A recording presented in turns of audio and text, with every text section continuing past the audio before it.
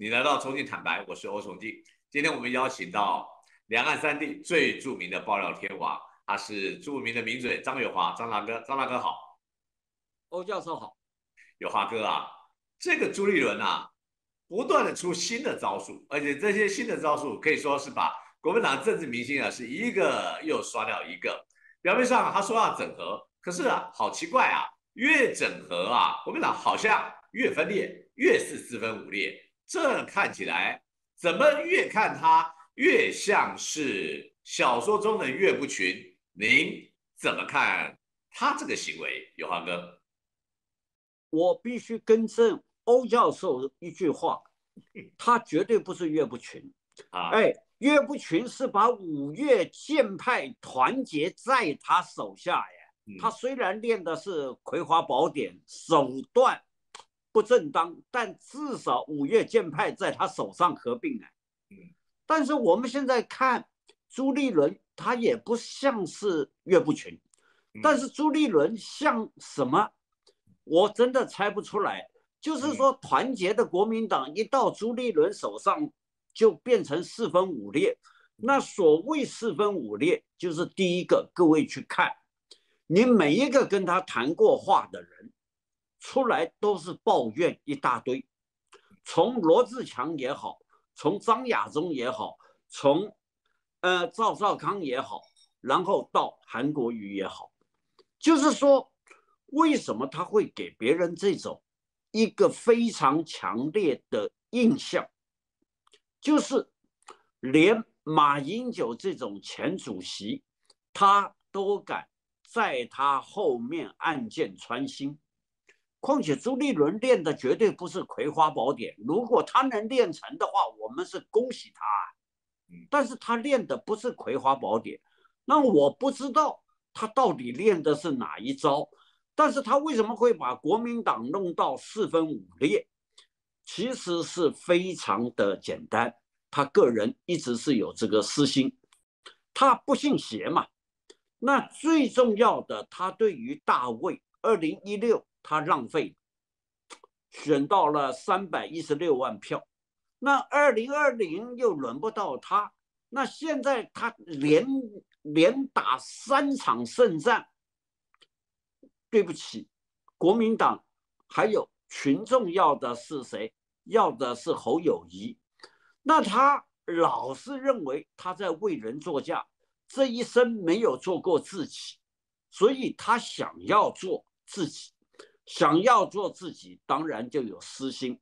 那这种私心呢？只要你的政治前途、你的民调，甚至于你的权位都比他高的人，他都想把他给踏下去。所以呢，我们现在可以看，他对侯友谊那样子，侯友谊身为他的部属八年，应该跟他来讲肝胆相照。现在两个人几乎变成了王不见王，就可以看得出来这个中间的变化那有多大。那当年哈，当年他婉拒了韩国瑜，哎，这是怂恿他出来选。你以为他那么好心啊？就是说，侯友谊的民调已经下来了，你韩国瑜现在选啊，应该民调会比他高啊。哎，这个是我的揣测啊，不是侯。不是朱立伦讲的，朱立伦绝对搞的就是这一招。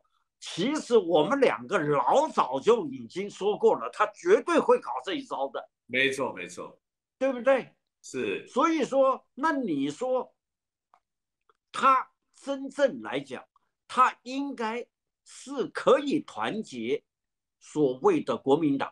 为什么不想团结啊？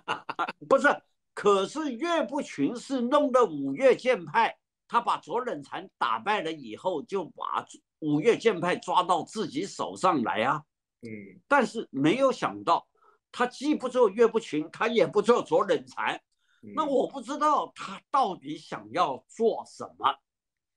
在这种情况之下，他把国民党呢搞到四分五裂，基本群众全部流失，就证明了一件事：这个人担任党主席。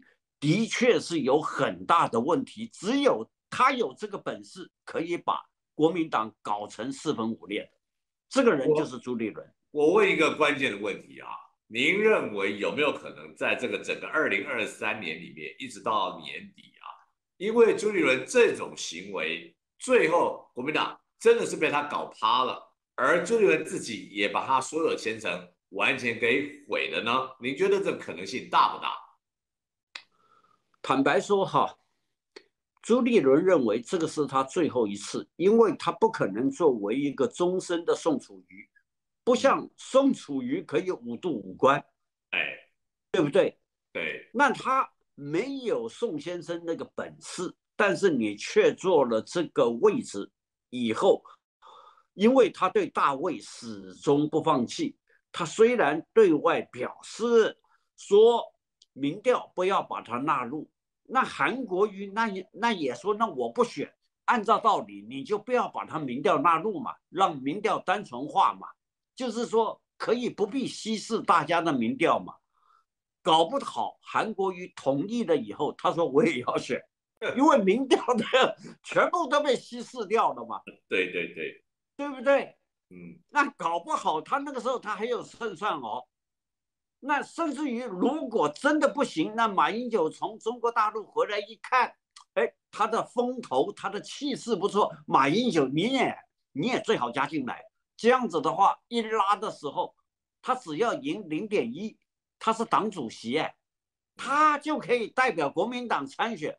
现在朱立伦大概打的就是这种算盘嘛，所以我们一而再、再而三的不是跟他讲吗？你有种你就宣布，我绝对不参选。